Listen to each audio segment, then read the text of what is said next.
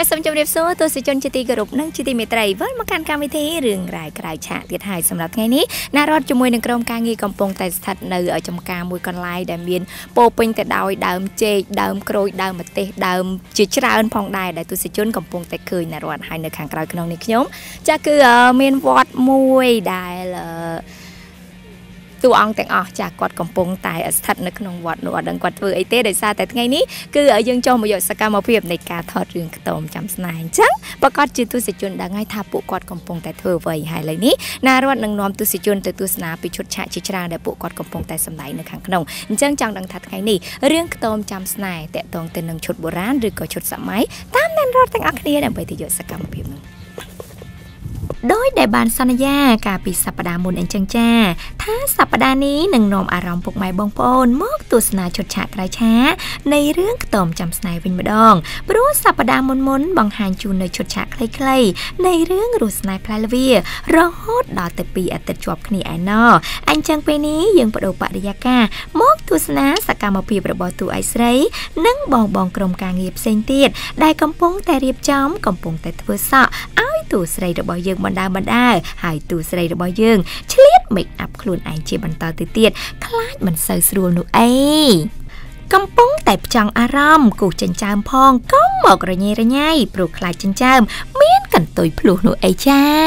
ក្រឡេកមកមើលប្អូនស្រីខាងនេះវិញរៀបចំខ្លួនរួចជាស្រេចតែពេលនេះកំពុងតែសុំពេលអង្គុយទន្ទិញប៉ារ៉ូលសិនព្រោះអីរៀងនៅស្រពិចស្រពិលបន្តិចបន្តួចផងដែរហើយអ្នកម្ដាយរបស់យើងវិញក៏មិនខុសគ្នាដែរជាតារាជើងចាស់ស្រីម្នាក់ដែលមានសមត្ថភាពឲ្យតែរឿងផ្សាយនៅទូរទស្សន៍ប៉ូលី5គឺថាមិនដែលរំលងមុខរបស់អ្នកម្ដាយអញ្ចឹងហ្មងឥឡូវនេះរៀបចំខ្លួនឯងទាំងអស់គ្នាអញ្ចឹងក្រុមការងារក៏សូមថតរូប10 20ប៉ុស្តិ៍ទុកហើយក្នុងចំណោម20សន្លឹកគឺគេយកតែមួយសន្លឹកទេចាទុកធ្វើរក័សម្លៀកបំពាក់ម៉ូតសក់អីជាដើមដើម្បីទុកថតស៊ីនតជាបន្តបន្តទៀតពេល នេះបងបងក្រុមការងារកំពុងតែរៀបចំសារ៉េប្រង់ថតជាបន្តបន្ទាប់ទៀតហើយក៏មានក្មេងៗនៅក្នុងភូមិនាំគ្នាមកមើលកកកឆ្ងល់ថាគេថតកុនយ៉ាងម៉េចម៉ែឲ្យនៅមើលប្អូននៅផ្ទះមានណាបីប្អូនមកមើលដែរតែវិញម៉ែវាយក៏ព្រមអត់ខ្វល់សំខាន់ចង់មើលគេថតកុនដូចណារត់នៅក្មេងអញ្ចឹងណាឥឡូវនេះលោក director ហៅឲ្យមកជុំគ្នា សូមឲ្យសមបន្តិច និងម៉ាក់កន្លែងដែលឲ្យឈរដើម្បីឲ្យកាមេរ៉ាចាប់យកប្លង់បាននិងច្បាស់ល្អតែហ៊ានខុសប្លង់សូមថតថ្មីហើយចាពេលនេះចាប់ប្លង់ពីក្រោយខ្នងម្ដង តារាជើងចាស់បាតារាទើបតែរះរៀងហត់បន្តិចហើយប្អូនស្រីជាតួអ្នកភូមិដែលត្រូវអរគុណអ្នកមានគុណព្រោះគាត់បានបរិច្ចាគលុយមួយចំនួនដល់ក្មេងៗអញ្ចឹងពេលនេះកុំឲ្យខាត់ពេលយូរយើងទៅទស្សនានៅវីដេអូឈុតនេះទាំងអស់គ្នាចាកាមេរ៉ាមើលមកមើលតែគាត់ អើកុំកុំកលេចញ៉ៃញ៉ៃមើលតែភ្នែកគាត់បានហ្នឹងចាអរគុណលោកស្រីដូចគ្នាណាហ្នឹងហ្នឹងហ្នឹងនេះមិនអត់មានពាក្យហ្នឹងទេនេះឃើញអត់ខ្ញុំប្រាប់ថាហ្នឹងយ៉ាប់ហ្មងឥឡូវយកមើលបរោខ្ញុំបានចោលបើនេះដឹងណាដឹងណៃហ៎បើអូពាក្យហ្នឹងឃើញមើលខុសបរោលបើ បើខ្ញុំមើលដឹងណាដឹងណៃតប្រូគាត់យកទៅសេឲ្យតែបាត់គាត់ចាំចានេះខ្ញុំមើលដល់ពេលហ្នឹងហ្នឹងវាខុសអសនេះអសដៃអានេះអសពុំចាអរគុណលោកខ្ញុំអរគុណលោកស្រីខ្លាំងណាស់ហ្នឹងហើយតែហ្នឹងហើយហ្នឹងហើយដំបងចូលមកដំបងចូលមកចាខ្ញុំក៏អរគុណលោកស្រីដូចគ្នា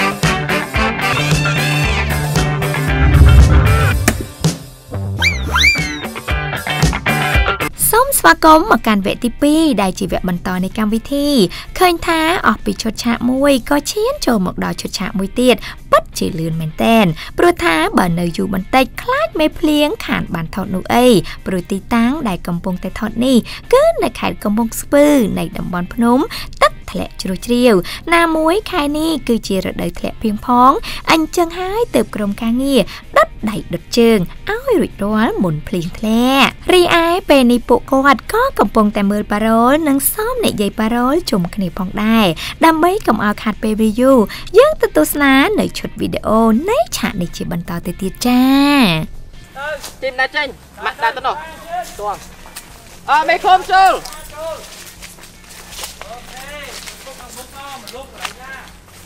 ងាត់ជាងនៅផ្ទះណាខ្ញុំយល់ហ៎ចាចៃលុយ ទៅហត់តាំងលើពីដំបូងកាត់យកហើយអញ្ចឹងល្អហើយណាកូនមុននេះម៉ែពិតជាបារម្ភពិតមែនថ្ងៃនេះកម្មករបើបេះស្វាក់បេះបាន50វិឆេតាមមួយគេកំងដែរអត់ណោះព្រោះថ្ងៃនេះឃើញកម្មករនេះគេឈុំគេសុំសម្រាប់ដល់13នាក់ឯណោះ ដំបងកូនក៏មានការបារម្ភដូចជាអ្នកម៉ាក់ដំបងកូនក៏មានការបារម្ភដូចជាអ្នកម៉ែដែរតែនេះកម្មករដែលដោះស្រាយទាំងអស់គឺគាត់តែគាត់នឹងដឹងពីពេលដើរឡើងមកណាម៉ាក់ដឹងកណែអូនអូនយកបីត្បិតបាន បីត្បិតតែកម្មករសុំចិនថៃរ៉េប៉ុន្តែមានកម្មករពេលអ្នកជួយលងខុំកណែគាត់ស្ដាយគ្នាខ្លះដើម្បីឲ្យត្រឹមធ្វើការដើម្បីឲ្យត្រឹមធ្វើការដើម្បីឲ្យគូរ៉ែមកដែលយើងបាច់តាមពេកបាច់តាមដែលយើងសូមឲ្យពួកគេជួយដែលពួកយើងដែលយើងសូមឲ្យគេជួយអ្នកម៉ែចាប៉ុណ្ណឹងមើលតាណាបាទចាំដៃគាត់ណាគេទៅអញ្ចឹងណាម៉ាក់អូនេះណា អញ្ចឹងណាម៉ាក់ហៅម៉ាក់អញ្ចឹងម៉ែអនណាកូនបងសុំហើយប្រាក់រង្វាន់សម្រាប់អ្នកដែលខំប្រឹងប្រែងធ្វើការនោះណាម៉ែនេះបានរៀបចំត្រៀមទុកឲ្យគេហើយចំអឺត្រៀមទុកឲ្យអ្នកដែលអ่ะត្រៀមទុក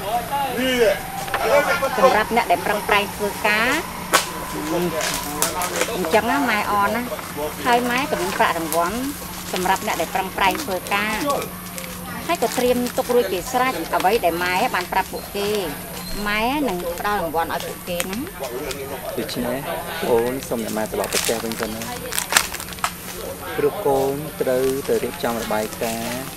ព្រោះកូនមានរបាយការណ៍ព្រោះកូនមានរបាយការណ៍ត្រូវធ្វើដើម្បីធ្វើការជូនប្រធាននៅថ្ងៃច័ន្ទស្អែកនេះចាំល្ងាចកូនមកយកអ្នកម៉ែត្រឡប់ទៅវិញ និយាយពីសម្រស់នៃទឹកដីជ្រោះជ្រាវវិញ គឺថាស្អាតខ្លាំងខ្លាំងៗតែម្ដងអ្នកដែលបានទៅកំសាន្តនៅទីនោះប្រកាសជាដឹងកាន់តែច្បាស់ជាក់ជាមិនខានឡើយហើយឥឡូវនេះក៏លេចចូលមកសាច់រឿងរបស់យើងវិញពួកគាត់ទាំងពីរគូដើរកំសាន្តលេងនៅចំការក្រូចបែបខ្ជុតខ្ជុតសបាយសបាយលក្ខណៈថាវិលត្រឡប់ទៅសម័យកាលពីមុនវិញ តែពួកគាត់ក្រងឈុតអ្វីក៏សមទាំងអស់មិនថាឈុតសម័យឬក៏ឈុតបុរាណនោះទេ ពេលនេះចូលមកដល់ប្លង់ថតនៅកន្លែងទឹកជ្រោះវិញម្ដង ទឹកហូរខ្លាំងពេកនិយាយស្ដាប់គ្នាមិនសូវបាននោះទេ តែទោះជាទឹកហូរខ្លាំងប៉ុណ្ណាមិនសំខាន់ឡើយអ្វីដែលសំខាន់មកជាមួយមនុស្សដែលយើងស្រឡាញ់សាមញ្ញសាមញ្ញតែមានក្តីសុខអង្គុយយកជើង មើលទឹកហូរអង្គុយស៊ូយត្រី តែមិនដឹងត្រីនៅទីណាទេចា មានតែទិញស្រាប់យកមកដាក់ហើយពេលនេះចាជំរាបសួរលោកបញ្ញសិទ្ធអូយមកនិយាយពីលោកបញ្ញសិទ្ធវិញឃើញថាតែងខ្លួនបែបសម័យហ្នឹងមធ្យមឯងងុំបែបបុរាណហ្មងណាថ្ងៃនេះគឺបុរាណបាទចា៎អឺជាមេឃុំសឿងអូមេខុំទៀនបាទមេខុំឯងក្មេងម៉េះមេឃុំអ្នកមានមេខុំកំឡោះទៀតបាទចង់និយាយថាចេះក្មេងអីឥឡូវយុគច្រើនហើយណាអូប៉ុន្តែលេងស្រាប់សាច់មុខឡើងចាំហ្មងណាឡើងខ្ចីញ៉ាញ់ចង់ដឹងអាយុប៉ុន្មានអត់ចង់ដឹង31ឆ្នាំមែនអូបើនិយាយទៅខ្ញុំនៅក្មេងជាងឡើយហ៎ចានិយាយលេងទេហើយអឺសម្រាប់លោកបញ្ញសិទ្ធនៅក្នុងរឿងនេះមានអារម្មណ៍ថាប្លែកទេធ្លាប់បានសម្ដែងខ្សែភាពយន្តភាគដែលអឺបុរាណបុរាណអញ្ចឹងពីមុនមកទេបាទអឺសម្រាប់អឺរឿងពីបារាំងធ្លាប់ ធ្លាប់សម្ដែងបានអឺច្រើនដែរប៉ុន្តែគាត់ថានៅក្នុងសាច់រឿងអឺខ្ទមចាំស្នេហ៍នេះគឺប្លែកលើសពីប្លែកទៅទៀតចា៎ដោយសារគឺជារសជាតិថ្មីតែម្ដងចាថ្មីមិនទៅរសជាតិផ្អែមល្វីងជូរចត់យើងធ្លាប់ជួបហើយថ្មីជាងនឹងទៀតមានអ្វីទៅមេឃុំសឿងនេះគឺជាមេឃុំដែលចិត្តល្អបំផុតអូដែលជួយស្រីស្អាតអឺតាមស្រឡាញ់ស្រីស្អាតបោថ្នាក់ថ្នមស្រីស្អាតអីចឹងទៅចាប៉ុន្តែដល់ទៅពេលចូលដល់មួយជាតិទៀតទៅជាកាចទៅជាខោខើទៅវិញ ណោះចារសជាតិមួយអាថ្មីស្រឡាងណាថ្មីសម្រាប់លោកបញ្ញាសិតតែម្ដងហើយបានសម្ដែងថ្ងៃនេះគឺជាថ្ងៃបើនិយាយទៅអាចនិយាយបានថាគឺជាស៊ីនដំបូងនៅក្នុងរឿងនេះចាគឺបានសម្ដែងនៅស៊ីនអ្វីខ្លះហើយអឺយើងនឹងសម្ដែងជាមួយនឹងតួស្រីដែលគាត់នឹងដូចជាគាត់លោតសម្រាប់ខ្លួនបាទ តួស្រីគាត់លោតសម្រាប់ខ្លួនហើយយើងចាជាមេឃុំប្រុសស្អាតហ្នឹងណាចាតែទៅជួយស្រីស្អាតទៅចាបាទតាមដែលលោកបញ្ញាសិទ្ធជំរាបជូននឹងគឺប្លែកមែនដោយសារតែធម្មតាមេឃុំអអឺ ភាគច្រើនគឺរៀងវ័យចំណាស់បន្តិចប៉ុន្តែនេះលោកបញ្ញស័កក្មេងអឺបញ្ញសិទ្ធក្មេងហើយមិនត្រឹមតែក្មេងទេគឺបានជួបជាមួយនឹងអឺតួស្រីស្អាតស្អាតនៅក្នុងភូមិទៀតទេពេញចិត្តជាមួយនឹងសាច់រឿងនេះណាពេញចិត្តមែនតើបាទអរគុណច្រើនហើយមានការនឿយហត់ទេសម្រាប់ថ្ងៃនេះដោយសារតែការថតនៅទីតាំងទឹកជ្រោះជ្រាវនេះគឺរហូតដល់ជាន់ទី3ចាគឺទាំងក្រុមការងារទាំងនាងខ្ញុំអីហ្នឹងគឺឡើងមកលក្ខណៈរឿងហត់គ្រាន់បើដែរចាមានអារម្មណ៍មិនដែរ បាទដូចជាហាត់ប្រាណមួយដែរចា៎វាពីព្រោះឃើញថាអឺមិនមែនតែខ្ញុំហត់ទេគឺចា៎ថាក្រុមការងារ director ហើយអឺបុគ្គលិកទាំងអស់គឺនាំគ្នាហត់ទាំងអស់ប៉ុន្តែសប្បាយចិត្តសប្បាយបាទចា៎បំរើអារម្មណ៍ទូនតែកិច្ចជនគ្រប់ គ្រប់ទាំងអស់គ្នាបាទចាហើយពីកម្មវិធីក៏មានជាកាដូជូនទៅដល់លោកបញ្ញសិទ្ធនៅពេលដែលសម្រាប់ពីការងារឬក៏ពេលចុះពីអឺទឹកជ្រោះនេះទៅវិញទៅដល់កន្លែងអឺស្នាក់នៅខាងក្រោមចាអាចទទួលទានបានជាមួយនឹងក្រុមការងារឬក៏ម្នាក់ឯងក៏បានដែរស្បាយគឺថាជួយចិត្តមែនទែនរសជាតិនេះចូលចិត្តបាទណាស់អរគុណច្រើនមែនទែនអរគុណទៅដល់ Spy White Collar ដែលតែងតែផ្ដល់ជាកាដូដល់ខ្ញុំហើយអឺអឺបន្ទាប់ពីយើងថតចប់ យើងសម្រាប់ទៅយើងអាចញ៉ាំលេងបានបាទចាអរគុណជាចុងក្រោយមានជាពាក្យពេចន៍អ្វី5ផ្ញើជូនទៅដល់ទស្សនិកជនដែលកំពុងតែទស្សនាជាមួយនឹងកម្មវិធីរឿងរ៉ាវក្រៅឆាកអរគុណច្រើនជាដំបូងអរគុណទៅដល់កម្មវិធីរឿងរ៉ាវក្រៅឆាកវិធីការនេះដ៏អាសាទហើយអឺអឺអឺផ្ញើសាច់រឿងទាំងមូលនេះជូនទៅដល់បងប្អូនទាំងអស់គ្នាហើយយើងនឹងរងចាំតាមដានសាច់រឿងទាំងមូលថាតើសាច់រឿងទាំងអស់នេះមានរសជាតិបែបណាកំសត់មនោសញ្ចេតនាសូមរងចាំតាមដានស្នាជាមួយខ្ញុំទាំងអស់គ្នាផងដែរចាអរគុណណាស់គុណលោកបញ្ញសិទ្ធចាបាយបាយ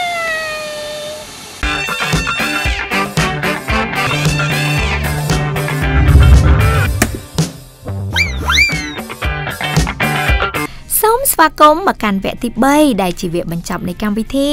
ក្រុមការងារពិតជាសកម្មនិងការងារមែនតែនចេញជួយយកអាសាគ្នាណាស់ណាមួយតួស្រីរបស់យើងត្រូវឆ្លងពីថ្មម្ខាងទៅថ្មម្ខាងទៀតត្រូវតែមានចំដៅជាជំនួយបែបនេះហើយចំណែកក្រុមការងារនៅចិត្តចិត្តនឹងចាប់ជួយគាត់ជានិច្ចឃើញតែថាងាកទៅខាងណាក៏មានប្រុសស្អាតជួយទប់ដែរឈុតនេះអាណិតតួស្រីខ្លាំងណាស់ត្រូវគេដេញតាមធ្វើបាបរហូតស្រែកឲ្យគេជួយរហូតរអិលជើងធ្លាក់ជ្រោះតែទំរាំថតត្រូវរៀងឈឺដៃគូសំដែរស៊ូស៊ូណាអូនសំឡាញ់ចាប់ចែឲ្យស្បាយមួយដបកំពុងតែស្រែករកអ្នកជួយជួយផងជួយផងស្រាប់តែមានវីរៈបរោះជីសេះសមកជួយស្រីស្អាតដូចនៅក្នុងរឿងនិទានអញ្ចឹងចាតួប្រុសកំពុងចូលតួផង ដាក់ជើងចុះទៅជួយទៅហើយមានអីតួស្រីអស់សំណើចអីណាត្រូវថតម្ដងទៀតយ៉ាប់ណាតួឯកស្រីរបស់យើងនេះ ក្នុងចិត្តអន្ទះអន្តែងចង់ជួយអូនសម្រស់ក្នុងចិត្តភ័យផ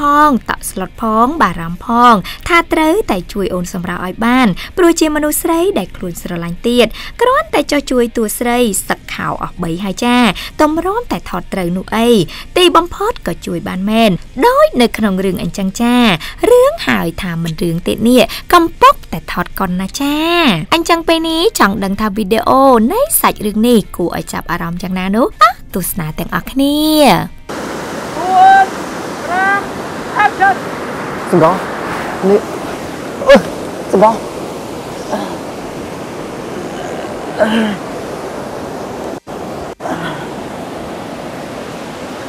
សម្រស់សម្រស់នេះអូនមានត្រូវកន្លែងណាអូន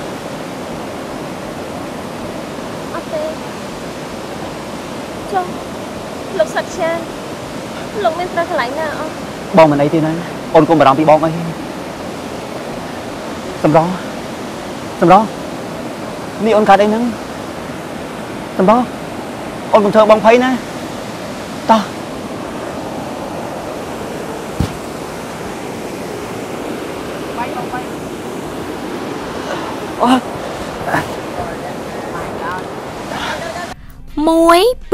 1 2 3 action តួស្រីរត់ទៅហើយ ហើយក៏មានជនអាក្រក់តាមធ្វើបាបតែមិនទាន់ត្រូវនោះទេ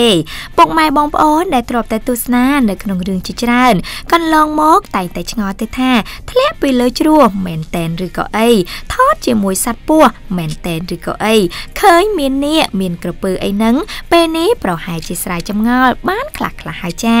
ថាបច្ចេកទេសនៃការថតកុនបែបណា ហើយក្រុមការងារក៏បានចោះទៅជួយទប់ចម្បាំងដែលក្រងឈុតទូឯកស្រី ពេលដែលចាក់ផ្សាយធ្វើដូចជាទូឯកស្រីធ្លាក់ជ្រោះមែនតែនអញ្ចឹងចា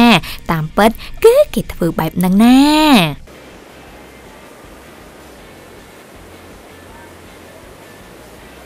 សម្រាប់សម្រាប់អូនអូនណាប្រុសមួយបងទៅណាសម្រាប់សម្រាប់នៅសប្បាយជាមួយនឹងបងហើយបងនឹងអូនឡើងខាងសួរសម្រាប់សម្រាប់សម្រាប់សម្រាប់សម្រាប់សម្រាប់ទេទេ ញាប់មកទៅចាអើយម៉ែម៉ែអើយ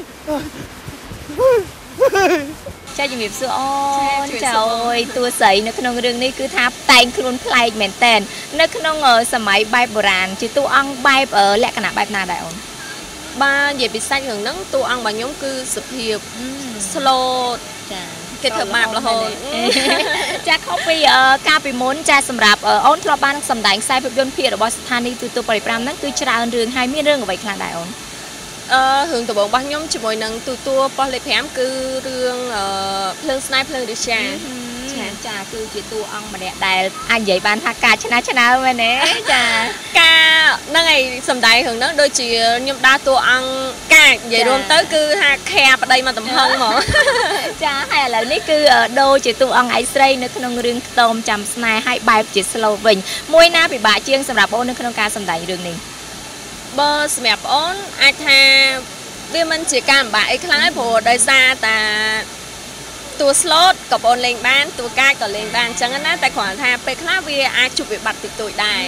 ចាធម្មតាដូចជាយើងធ្លាប់សម្ដែងតួកាចនៅពេលដែលយើងសម្ដែងទៅជាតួ slow គេធ្វើបាបអីចឹងយើងពិបាកជាងឬក៏ពេលខ្លះតួ slow ក៏អាចស្រួលជាងដោយសារតែយើងអត់សូវមានកាយវិការបែបឆ្នះឆ្នើមអីច្រើនអញ្ចឹងណាចាហើយថ្ងៃនេះថតបានប្រហែលស៊ីនហើយជាមួយនឹងតួឯប្រុស អឺតាំងពីព្រឹកមកអត់ទាន់បានទេបងបានទេហ៎ចាតែងខ្លួនចាំហ្មងហ៎តែងខ្លួនចាំប៉ុន្តែអត់ទេបងឃើញតួប្រុសនឹងបលែងលេងជាមួយនឹងតួស្រីម្នាក់ទៀតបើអត់ដឹងថាមានរឿងអីទេបានឃើញគាត់បលែងលេងរហូតមូលហេតុអ្វីដែរដឹងអត់ដូចជាអត់ច្បាស់ដែរអត់ដឹងថាហេតុអីចាំមានតំណែងតំណងស្នេហាជាមួយនឹងតួឯប្រុសឬក៏នៅនៅក្នុងរឿងនេះដូចជាបើតាមសាច់រឿងវិញគឺតួអង្គខ្ញុំហ្នឹង ដូចជាមានស្នេហាជាមួយនឹងតួប្រុសដែរប៉ុន្តែគ្រាន់ថាអត់ហ៊ានជួបមុខគេដោយសារតាយើងអាក្រក់ចាយើងមានមុខមាត់អាក្រក់អញ្ចឹងដល់ពេលអឺប្រែមកជាស្អាតវិញក៏អត់ហ៊ានថាក៏អត់ហ៊ានទៅជួបតួប្រុសដែរដោយសារតែជំងឺរបស់យើងហ្នឹងបើសិន ជាយើងអឺដូចថាមានស្នេហាអីចឹងវាអាចត្រឡប់ទៅជាអាក្រក់វិញអញ្ចឹងណា អញ្ចឹងបានន័យថានៅក្នុងរឿងនេះការដំបងឡើយគឺអូនមានរូបរាងបែបអាក្រក់រូបសម្រស់ហ្នឹងគឺមានបញ្ហានៅលើផ្ទៃមុខអញ្ចឹងទៅប៉ុន្តែក៏ប្រែคล้ายទៅជារូបស្អាតវិញហើយអឺនៅពេលដែលយើងអញ្ចឹងគេហាមមកឲ្យមានស្នេហា ហ្នឹងហើយ ចាសាយរឿងប្លែកមែនតើដោយសារតែពេលនៅមានស្នេហាគឺប្រែคล้ายមកមុខអាក្រក់វិញអញ្ចឹងយើងមិនបាច់មានស្នេហាទេណោះ ចាដោយសារអញ្ចឹងទៅរបៀបថាចិត្តយើង ស្រឡាញ់តួប្រុសដែរប៉ុន្តែចិត្តមួយទៀតគិតថាបើសិនជាយើងស្រឡាញ់គ្នាតាក់ទងគ្នាទៅវាអាអាហុករៀងយើងពីមុនហ្នឹងវាត្រឡប់មកវិញ ចាទស្សនិកជនអញ្ចឹងចង់ដឹងថាអឺសម្រាប់ថ្ងៃនេះសាច់រឿងនៅក្នុងថ្ងៃនេះគាត់បានជួបជាមួយនឹងតួឯកប្រុសឬក៏អត់អញ្ចឹងមានតែតាមដានទស្សនាជាបន្តបន្តទៀតប៉ុន្តែឥឡូវនេះក៏មានជាកាដូជូនទៅដល់ប្អូនស្រីគឺ Spy Cocktail ម៉ៃតៃចាជូនទៅដល់ប្អូនស្រីនៅពេលដែល set នៅពេលដែលស្រឡាញ់តួប្រុសហើយសារភាពអត់បានទេអញ្ចឹងអាចដាក់ម្ដបនឹងទៅរៀងត្រជាក់ចិត្តបន្តិចណាចាបងចាអរគុណជាចុងក្រោយមានជាពាក្យពេចន៍អ្វី5ផ្ញើជូនទៅដល់ពុកម៉ែបងប្អូនដែលកំពុងតែទស្សនាកម្មវិធី ចាអឺជាចុងក្រោយគឺអត់មានអីផ្ដាំផ្ញើច្រើនទេក៏ចង់ឲ្យទស្សនិកជនចូលរួមគ្រប់គ្រងខ្សែភាពយន្តខ្មែរយើងឲ្យបានច្រើនហើយជាពិសេសកុំភ្លេចឲ្យសោះ3គុំ3ការពាររបស់អនុសាសន៍អឺរបស់សម្ដេចចាចាអរគុណអរគុណអូនស្រីចាអរគុណបាទ ចាយ៉ាងមិនទៅហើយទស្សនិកជនជាទីគោរពនិងជាទីមេត្រីឃើញថាថ្ងៃនេះសម្រាប់ទេសភាពពិតជាគួរឲ្យចាប់អារម្មណ៍មែនទែនតកតងទៅនឹងរឿងខ្ទមចាំស្នេហ៍ប៉ុន្តែសាច់រឿងវិញគឺថាបានតិចតួចបំផុតដោយសារតែថ្ងៃនេះគឺអឺមានបញ្ហាដូចជាភ្លៀងធ្លាក់ខ្លះរួមជាមួយនឹងបញ្ហាទីកន្លែងខ្លះផងដែរប៉ុន្តែយ៉ាងណាក៏ដោយក្រុមការងារនៃអឺ ខាងស្ថានីយ៍ទូរទស្សន៍ប៉ូលី5ក៏ដូចជាកម្មវិធីរឿងក្រៅក្រៅឆាកនៅតែចុះផ្តិតមកយកសកម្មភាពនៃការថតរឿងខ្ទមចាំស្នេហ៍ជាបន្តបន្តទៀតសម្រាប់ទស្សនិកជនបានទស្សនាដោយសារតែរឿងនេះគឺអឺមានឈុតឆាកច្រើនមែនតែនតកតងជាមួយនឹងអឺរឿងតាំងពីបុរាណរួមជាមួយនឹងសម័យកាលផងដែរចាអរគុណមែនតែនទៅដល់ទស្សនិកជនទាំងអស់ដែលតែងតែគ្រប់គ្រងទស្សនាគ្រប់សកម្មភាពក៏ដូចជាគ្រប់កម្មវិធីទាំងអស់របស់ស្ថានីយ៍ទូរទស្សន៍ប៉ូលី5ជាពិសេសនៅក្នុងរឿងអឺនៅក្នុងកម្មវិធីចាសំទោសគឺនៅក្នុងកម្មវិធីរឿងក្រៅក្រៅឆាកកុំភ្លេចជួយ like និង share កម្មវិធីផងសម្រាប់ពេលនេះណារត់នៅក្នុងការងារទាំងអស់សូមអរគុណនិងសូមគោរពលាបាយ